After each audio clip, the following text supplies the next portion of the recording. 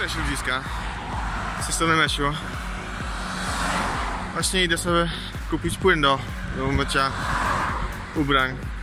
Bo wczoraj był e, robotnik z Agribexu naprawić mi parę rzeczy, innymi ten zawór od, od pralki. Mam już e, ładną przyduszkę, mam podłączony, e, mam syfon, bo e, ten co był normalny to jest za duży, więc musiałem mieć też taką, że tak powiem, przedłużkę, żeby na mniejszy.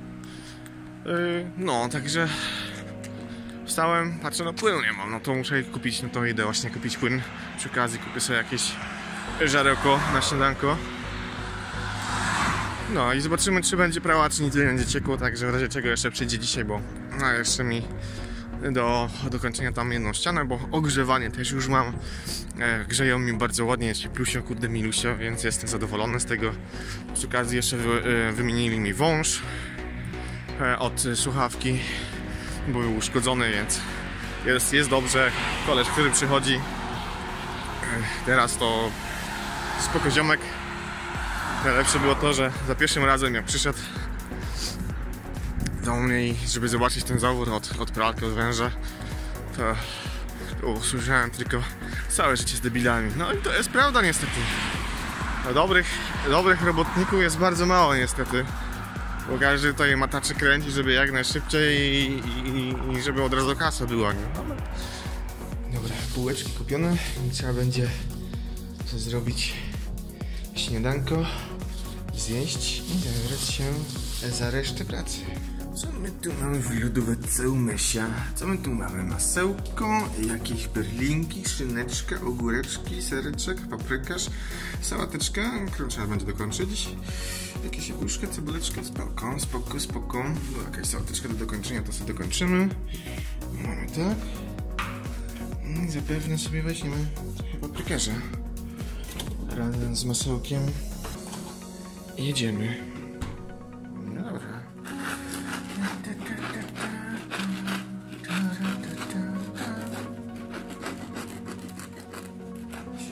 Lotka. Lotka. Dobra, zmieniamy już. Masełeczko.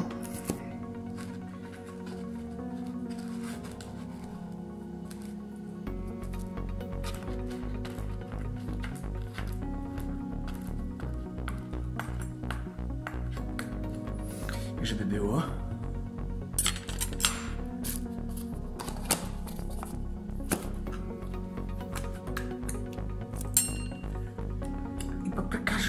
Na jedną stołóweczkę, druga do sałateczki idzie.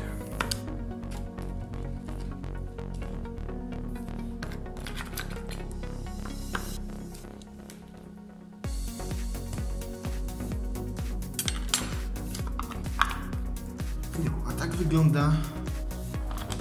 Ją w sumie wyglądają zamontowane mm, węże. No, tego zbytnio nie widać, jeśli ktoś się nie będzie przyglądał, więc to jest zapralką, więc powinno być wszystko ok. No, natomiast tu mamy nowy węż. Ładnie, tu nawet widać, że tu jest stary jeszcze, jeszcze nie zebrał. Także go zabierze i, i, jest ok. Że sprawny i jest ok. Chciałem, w sumie już w zeszłym tygodniu nagrywałem unboxing e, obudowy NZXT y, H500, ale okazało się, że jest niestety uszkodzona. Mm, Dlatego nie mogę dokończyć, dlatego też się y, filmik z unboxingu nie pojawił. Y, Był u mnie kurier spisać protokół, miał na, na drugi dzień przynieść protokół, bo nie miał pieczątek jakiś, żeby, żeby mi podpisać. Mm, No, także dopiero dostarczył mi wczoraj wieczorem i wczoraj wieczorem wysłałem, wysłałem im, im w sumie zdjęcia z tego protokołu, także zobaczymy co mi odpiszą. Znaczy, no, według kuriera to uszkodzenie było już yy, fabryczne, że tak powiem. Yy, no, bo żadnych w sumie dziur w folii z powietrzem nie było. A raz, że tu jest, tu jest ugniecenie.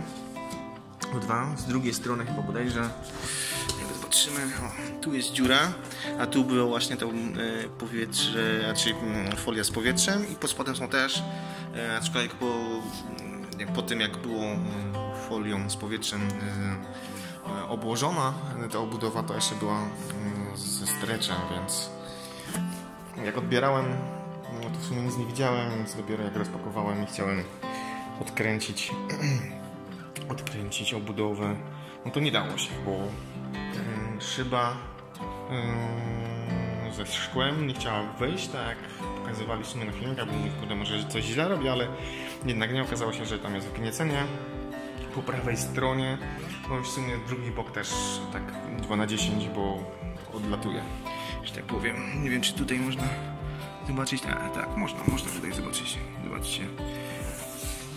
Tu jest ok, a tu tak odstaje, nie? więc ewidentnie fabryczna wada, więc zobaczymy, co tam jeszcze mi odpiszą.